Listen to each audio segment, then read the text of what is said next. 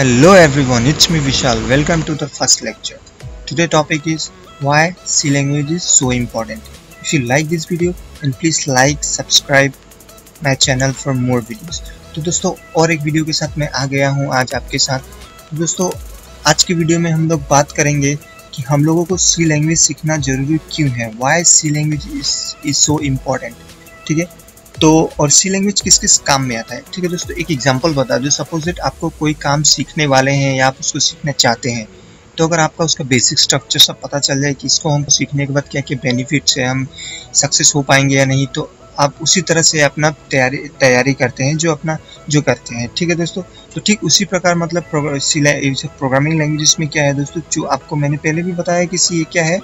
बे, basic programming language है जिसमें मतलब ये आप लैंग्वेज सीखने के बाद आपको आगे में जितने भी सारे प्रोग्रामिंग लैंग्वेजेस है सीखने में आपको कोई भी प्रॉब्लम नहीं आने वाला है। ठीक है दोस्तों?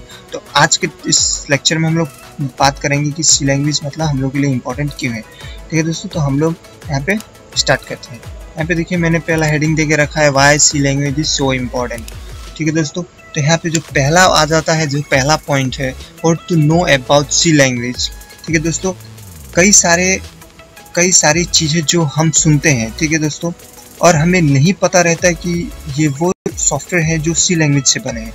तो मैं एक ऐसे फ़ेमस सॉफ्टवेयर बताऊँगा, जिसका नाम आप सभी लोगों ने सुना होगा। ठीक है दोस्तों, जैसे ओरेकल जो क्या है, एक सॉफ्टवेयर है, वो डाटाबेस सॉफ्टवेयर में एक बहुत बड़ा सॉफ्टवेयर है। ये सॉफ्टवेयर बहुत ही ज़्यादा यूज़ में आने वाला सॉफ्टवेयर है, ठीक है दोस्तों? और ये सॉफ्टवेयर बनाया गया है सी लैंग्वेज से, ठीक है? अभी हम लोग सेकेंड टॉपिक में बात करेंगे। आ जाते हैं हम लोग हाँ core library of Android are written in C language ठीक है दोस्तों? आजकल के आजकल के डेट में जितने भी स्मार्ट टेक्नोलॉजी वाले एंड्रॉयड फ़ोन है दोस्तों, उनका भी दोस्तों कोर लाइब्रेरी लिखा गया है सी लैंग्वेज में, ठीक है? तो आ जाते हैं हम लोग थर्ड पॉइंट पे almost every device driver is written in C दोस्तों, इसका एक, जो मैं एकदम डिस्क्रिप्ट मतलब इसका एकदम एक्सप्लेन करके मैं आपको समझाऊँगा कि ये डिवाइस ड्राइवर क्या होता है। ये किस, सभी लोगों को पता नहीं होता डिवाइस ड्राइवर क्या होता है। तो दोस्तों, आइए स्टार्ट करते हैं डिवाइस ड्राइवर होता क्या है। कि ज़्यादातर सभी डिवाइस ड्राइवर सी लैंग्वेज में लिखी गई है। जैसे कि हमारे कंप्यूटर में भी बहुत सारे हार्डवेयर हैं और वो सब काम करते हैं। बिकॉज़ उसके अंदर काफ़ी सारे प्रोग्राम हैं जो हार्डवेयर को ऑपरेट करते हैं। तो अलग अलग हार्डवेयर डिवाइस को चलाने के लिए अलग अलग प्रोग्राम लिखा जाता है, जिसको हम बोलते हैं डिवाइस ड्राइवर ठीक है दोस्तों? फॉर एग्जांपल जैसे आप अपने पेन ड्राइव को अपने लैपटॉप या कंप्यूटर में जब कनेक्ट करते हैं तो उसे आप यूएसबी पोर्ट में कनेक्ट करते हैं। तब भी एक दोस्तों डिवाइस ड्राइवर क्या होता है? इंस्टॉल होता है। ठीक है? जिसको आपको पेन ड्राइव को कॉन्टेंट्स को पढ़ सकता है।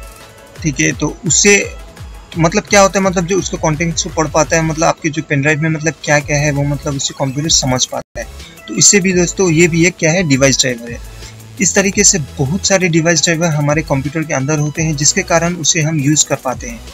इसका होने का पता कंप्यूटर यूज़र को नहीं होता है बट वह कंप्यूटर यूज़र से यू वो क्या करता है दोस्तों, जो हम लोग जो कंप्यूटर यूज़र उसे यूज़ करता है, उसके डिवाइस ड्राइवर होने का पता भी नहीं चलता है। सिर्फ़ बस वो उसे यूज़ करते रहता है। लेकिन उसे पता नहीं होता है कि वो क्या मतलब कौन सा डिवाइस ड्राइवर यूज़ कर रहा है। ठीक है दोस्तों, अगर आप प्रोग्रामिंग लैंग्वेज से मतलब अगर आप प्रोग्रामिंग के बैकग्राउंड से बिलोंग करते हैं या फिर प्रोग्रामिंग लैंग्वेज सीख रहे हैं दोस्तों तो आपको डेफिनेटली पता होना चाहिए कि डिवाइस ड्राइवर क्या होता है। ठीक है दोस्तों आपको अभी तो मतलब आपको बताया कि डिवाइस ड्राइवर ऑलमोस्ट जितने भी ड्राइवर डिवाइस ड्राइवर वो क्या है सी लैंग्वेज से लिखे गए दोस्तों हम लोग आ जाते हैं फ़ोन नंबर पॉइंट पे, ये क्या है major part of web browser is written in C इसका क्या है, हम इंटर हम सभी लोग इंटरनेट यूज़ करते हैं। हम लोग सभी लोग आजकल की दुनिया में सभी लोग मैक्सिमम हंड्रेड से नाइन्टी नाइन परसेंट लोग क्या करते हैं नेट पे इंटरनेट पे डिपेंडेंट है। ठीक है? तो यहाँ पे कुछ मैं से ऐसे सॉफ्टवेयर मतलब कुछ फ़ेमस सॉफ्टवेयर का नाम बताऊँगा जिससे आजकल सभी लोग उसे यूज़ करते हैं, जैसे गूगल हो गया क्रोम हो गया सफारी हो गया ओपेरा हो गया। मैक्सिमम लोग इस सारे सॉफ्टवेयर को यूज़ करते हैं दोस्तों तो इसका भी एक मेजर पार्ट जो है वो दोस्तों सी लैंग्वेज से लिखा गया ठीक है दोस्तों? अब उसके बाद आ जाते हैं हम लोग माई S Q L written in C दोस्तों, जैसे मैं आपको और ओरेकल के बारे में मैंने आपको बताया था कि वो क्या है? एक डाटाबेस मैनेजमेंट सॉफ्टवेयर है, ठीक है? तो अभी ये जो क्या है, ये भी एक क्या है ओरेकल जो माई एसक्यूएल क्या है, वो भी एक ओरेकल की तरह डाटाबेस मैनेजमेंट है और ये भी एक सी लैंग्वेज में ही लिखी गई थी। ठीक है दोस्तों? फिफ्थ नंबर में हम लोग आ जाते हैं। C is world world most popular popular programming language तो दोस्तों, ये आपको पढ़ते ही समझ में आ गया होगा कि ये क्या है। दोस्तों सी जो है, क्या है, बहुत ही पुरानी और सबसे ज़्यादा पॉपुलर प्रोग्रामिंग लैंग्वेज है। तो ये कहते हैं कि सी एक तो जो ये कहते हैं कि जो मतलब जो लोग आपको, आप लोगों ने भी कहा किसी से मुख से डेफिनेटली सुना होगा कि लोग कहते हैं कि अरे यार, सी तो बहुत ही पुरानी लैंग्वेज हो चुकी है, अब इसे कौन देखता है? तो नहीं दोस्तों तो उन्हें पता नहीं है कि सी लैंग्वेज भी अभी भी सबसे ज़्यादा पॉपुलर लैंग्वेज है।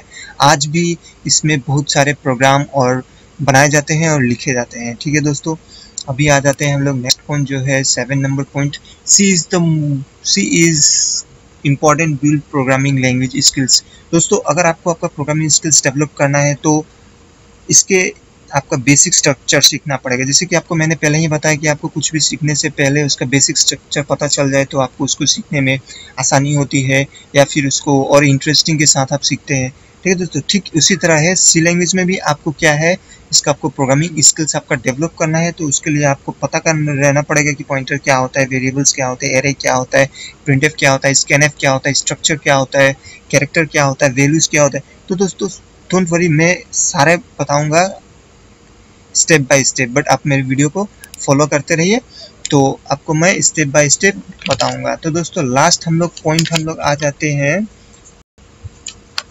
कि यूनिक्स यूनिक्स जो क्या है Unix operating system in written in C दोस्तों, आपको मैंने पहले भी बताया है और अभी भी बता रहा हूँ कि जो सी लैंग्वेज है, उसको लिखा था डेनिस रिची ने सिंस 1972 में। ठीक है दोस्तों? 1972 में लिखा था डेनिस रिची ने कि 80 80 80 80 बेल लेबोरेटरीज में, ठीक है दोस्तों? तो मतलब डेनिस रिची ने सी को बनाया ही ऐसा था कि उसको यूनिक्स ऑपरेटिंग सिस्टम को डेवलप किया जा सके। ठीक है दोस्तों? तो अगर आपको मेरा आपको मेरा पहले वीडियो नहीं, इसके पहले मैं वीडियो बना चुका हूँ, जो एक स्टोरी लैंग्वेजेस है मतलब स्टोरी लैंग्वेज सी आप वो वीडियो देख सकते हैं, वहाँ पे आपको कुछ समझ में आ जाएगा। अगर आप मेरा वीडियो स्टेप बाय स्टेप देखेंगे दोस्तों, तभी समझ में आएगा। अगर आप स्टेप बाय स्टेप नहीं देखेंगे तो आपको थोड़ा सा प्रॉब्लम हो सकता है। बट डोंट वरी फ्रेंड्स आपको कोई, मैं अपनी तरफ़ से प्रॉब्लम आने नहीं दूँगा। और आप मेरे प्लीज़ आप इसी तरह हमको सपोर्ट करते रहिए। जैसे हमको पहले वीडियो में आपने मेरा सपोर्ट किया तो इस वीडियो में भी सपोर्ट कीजिए।